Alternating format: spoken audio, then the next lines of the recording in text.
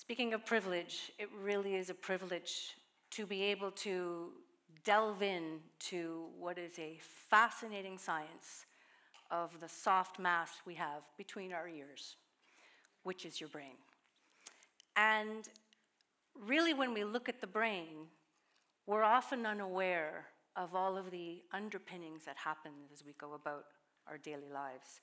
So today, I would like to offer a little bit of a brain vision, if you will, about what truly makes us resilient, or where does resilience actually come from? You see, your brain, this is a real brain, is the most complex structure of any of the known structures in the entire universe. And we, as a species, our primate line and lineage are probably one of the most successful species on the planet. And in a relatively short amount of time, we've pretty much taken over. You see, we as mammals, um, unlike most mammals, we spend the most amount of time among strangers. So there is a very clear mismatch between our ancient brains and 2025. The stresses that we encounter in modern society are simply not the same as our ancient ancestors. And again, we bustle about and ramble on in our busy days, barely paying attention to our brains or what goes on underneath it all when we interact, or especially when we react. You see, humans have had to deal and grapple with the stresses of living in large societies for only less than 8,000 years. And our first lineage of our primates appeared approximately six to eight million years ago. And four to five million years ago, we find about a dozen species, mostly confined to Africa. And modern human, Homo sapiens, appeared on the scene only about 250,000 years ago with a much lighter build and a much bigger brain. And they lived in small, what they used to call camp groups of about 30 or 50 individuals. Okay, so let's go to the topics of resilience, adversity, and stress. We cannot consider resilience without talking about adversity. There is no resilience without adversity, and there is no adversity without stress. So, what do we mean by resilience? Now, I'm sure that there are a lot of definitions, but I would like to put one forth as that resilience perhaps is the quality that somebody has. That when he or she is knocked down on an idle Tuesday by something terrifying or painful, that they are able to bounce back, kind of like a shock absorber. They're able to keep going and going and going despite the effects and the stress response that people experience, and we'll get into that a little bit later. You see, modern societies really value grit and resilience. And we notice when someone is resilient because we write stories about it or there's a movie about it. Now, I would like to put forward this question. I think we notice resilience because that's the exception, it's not the norm. If we were all resilient because we know we needed to be, we wouldn't be talking today. There wouldn't be a title of a TEDx. So I actually put forward the fact that the norm is quite the opposite. People suffer under the weight of stress and uncertainty and anxiety and everything else that comes along with it. So when we talk about adversity, we now have to introduce this idea of stress. See, your brain is basically a threat detecting machine. And even though it represents only 2% of your over body weight, it actually consumes over 20% of your calories. And when you're tired, that tends to be sugar and maybe carbohydrates because your brain is an energy consuming organ. So, stress, you see, is kicked off by a trigger.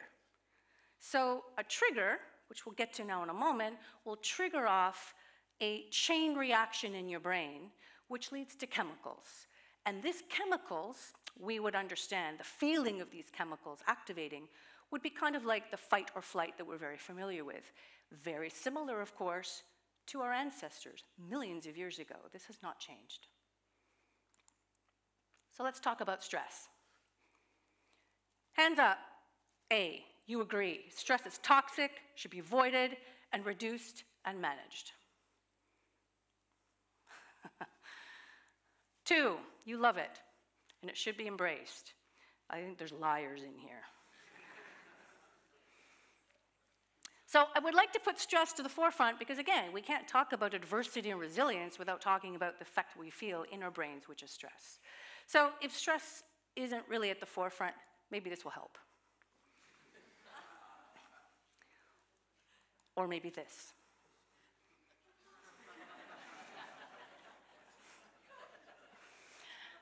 now, let's go back to our ancient ancestors for a moment.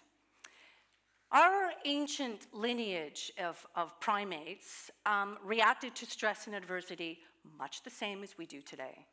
So, first and foremost, we have a trigger, which in this case might be a predator, such as a saber-toothed tiger. That trigger is going to, in turn, kick off a chemical reaction in your brain. We call this stress, but chemically, it's adrenaline and cortisol. It's a mix of two neurochemicals. And these neurochemicals flood your emotional limbic system, which is five million years older, by the way, than your rational prefrontal cortex. And your emotional limbic system is going to be screaming at the prefrontal cortex to act, get out, hide, attack someone, or do something. That's action. It's the behavior now that we see.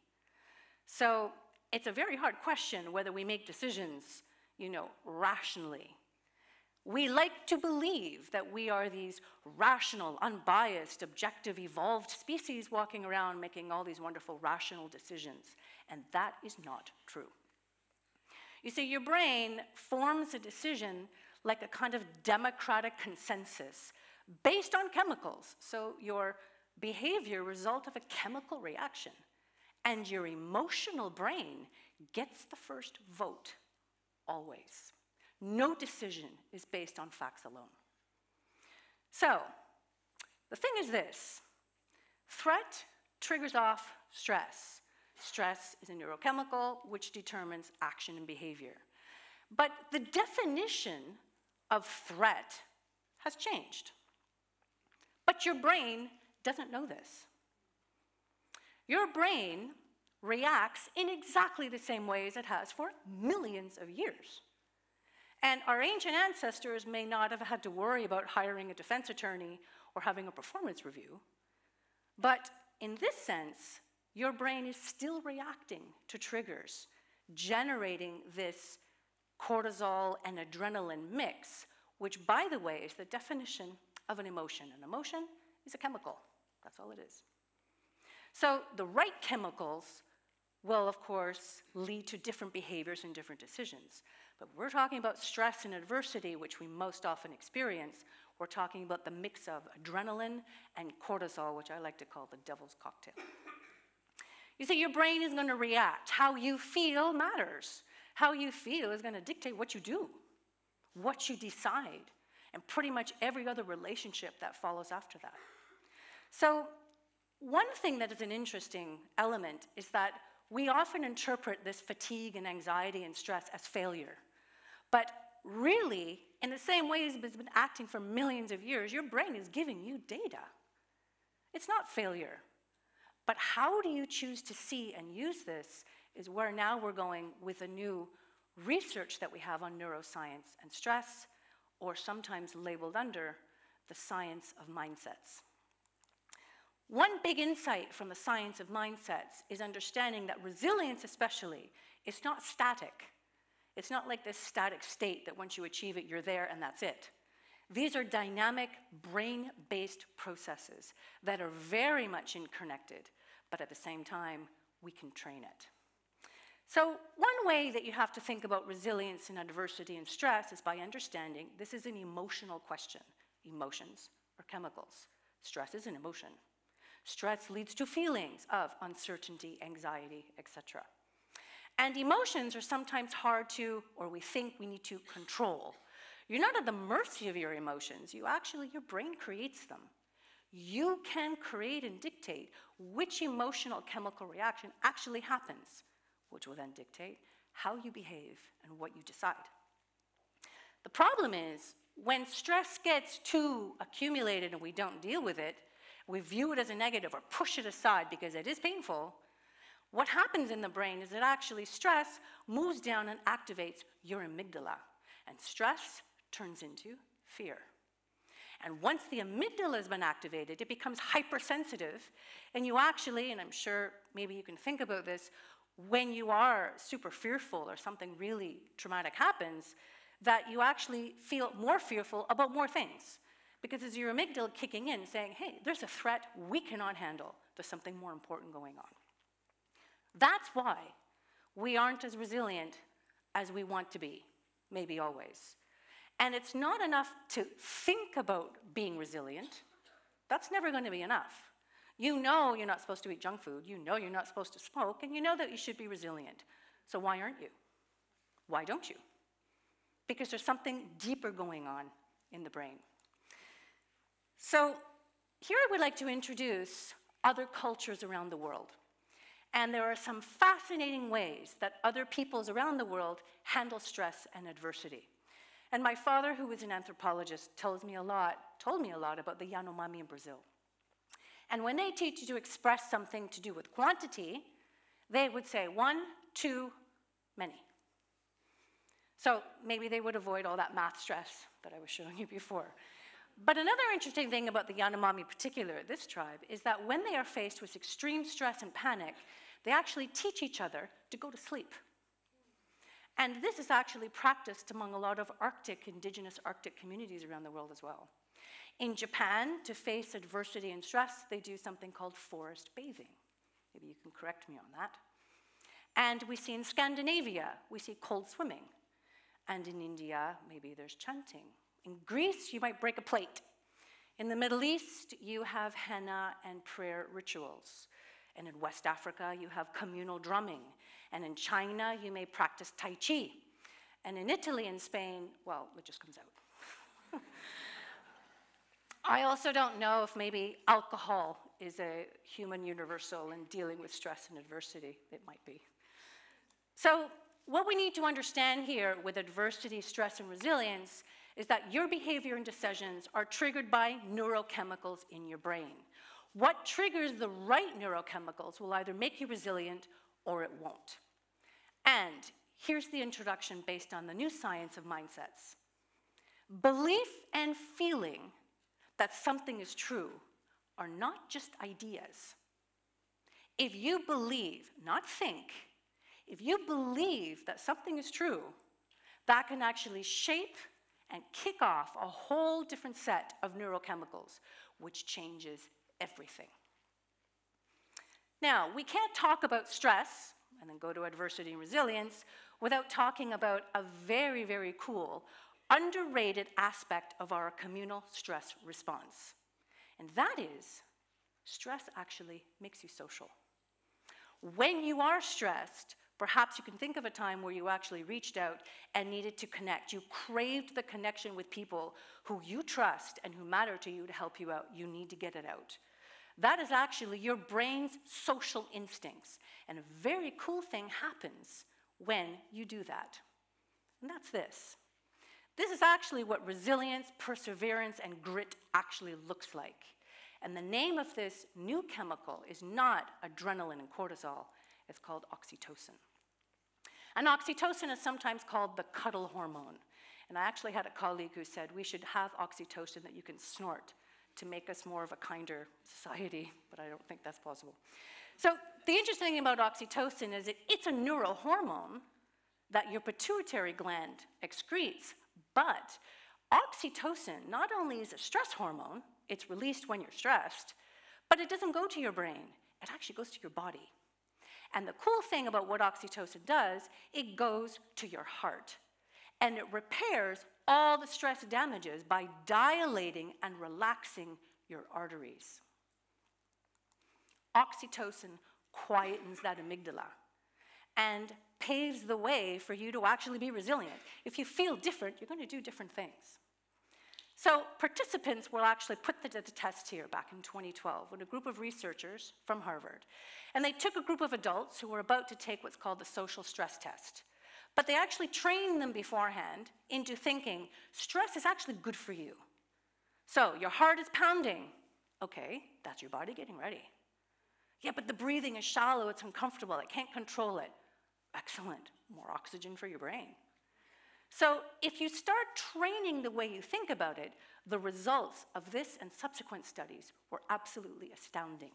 Because what it showed is a physical difference in response to stress. Hearts were healthier, hearts were actually stronger because the arteries were relaxed and dilated. That is resilience. So, the title of my talk to finish up is the paradox, the resilience paradox.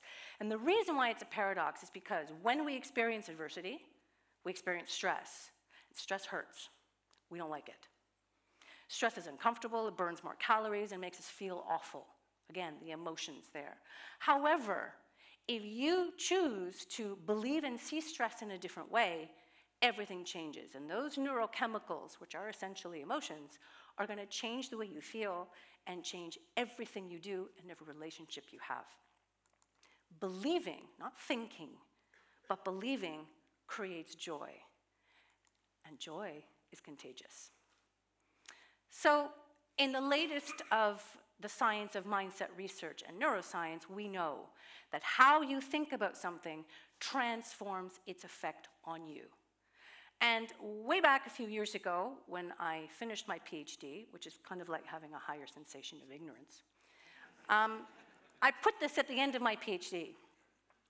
And I believed it at the time, it was very relevant to my thesis. However, I really didn't appreciate exactly how relevant and powerful this really is. There is no success without belief. You truly are who you believe you are. So I would like to finish up with two final um, messages for you. Um, I wish for you all, and of course, and very special, my daughter who's here today. I wish you all courage. But more than courage, I wish for you the belief. The belief, the true belief that you know that you are capable and you can do this. And finally, if you want more resilience, you need people. People are actually the best antidepressant there is. If you hug someone for six seconds or more, you both will benefit from oxytocin and actually synchronize brain activity. So rather than seeing the people around you and beside you, behind you as strangers, maybe they're just friends you haven't met yet. Thank you.